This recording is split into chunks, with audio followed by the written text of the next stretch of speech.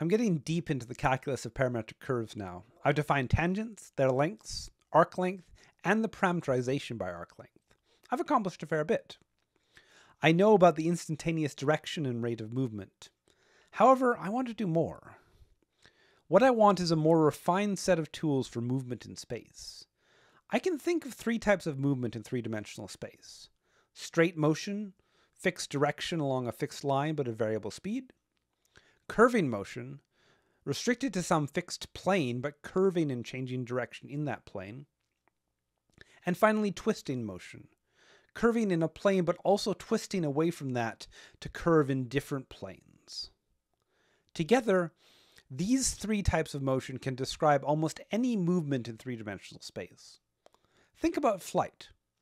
You can fly in a straight line, you can fly in a curve, or you can fly with some kind of twisting motion, and that applies to the flight of birds, insects, airplanes, etc. How is all of this captured in calculus?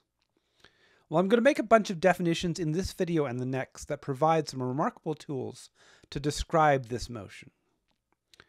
There is an important subtlety before I start. Some of the dynamics I define are properties of the curve itself, and some are properties of movement along the curve. That is, some depend on the rate of movement, but some depend only on the shape. When something depends only on the shape, I will use the parameterization by arc length to define it, since that is a unique parameterization and will always give a consistent answer. This turns out to be a pretty important theme or problem in multivariable calculus, having multiple descriptions for an object, and the challenge of calculating something that will work regardless of the description.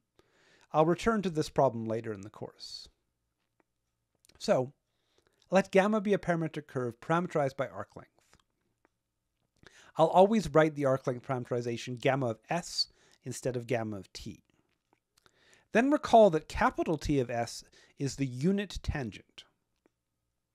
One of the nice things about the parameterization by arc length is that its tangents always have length 1, because time and distance match up perfectly.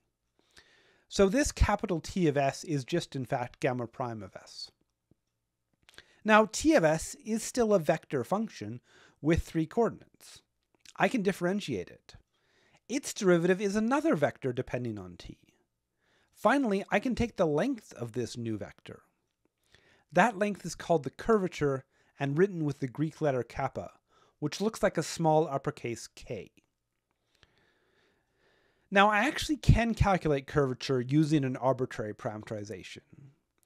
Here, kappa of t is the length of the derivative of the unit tangent divided by the length of the ordinary tangent. I'll not give a proof that this always works, but it does work, and it does calculate the curvature of the graph. I've put this equation for curvature on the sidebar of this video for your reference. Curvature measures the curving of a parametric curve, how it changes direction, curving to the right or curving to the left. A low curvature is almost a straight line, and a high curvature is a very tightly turning curve. This can be compared with a circle. A unit circle has curvature of exactly 1. For other circles, the curvature is the reciprocal of the radius. Hopefully this makes sense. A large circle has very slow curving. It looks almost straight if you sort of look at a piece of it. Therefore, larger radius gives small curvature. But a small circle is very tightly turning, therefore has a large curvature. Now let me do an example. First, this is a straight line parametric curve going directly in the direction ABC. It's a straight line, so it should have no curvature. Let me check the calculations to make sure that is true. First, I calculate the tangent. Then, I calculate the length of the tangent. The unit tangent is the tangent divided by its length. So here's the unit tangent, and then I differentiate the unit tangent. Though it looks complicated, everything here is constant, so the derivative is in fact zero. Finally, I take the length and calculate curvature as in the sidebar formula. I do in fact get that the zero curvature I expected for a straight line. Now let me calculate the curvature of the unit circle, which I claimed should be 1. Here is the curve.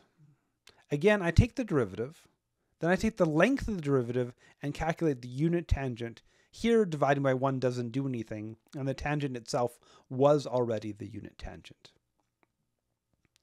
Then I differentiate the unit tangent and take its length, and I divide the two lengths following the formula on the sidebar, and I find that the unit circle does in fact have curvature 1.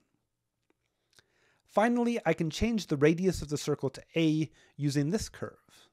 I repeat the same steps, the tangent, the length of the tangent, the unit tangent, the derivative of the unit tangent, the length of this derivative, and finally the curvature ratio.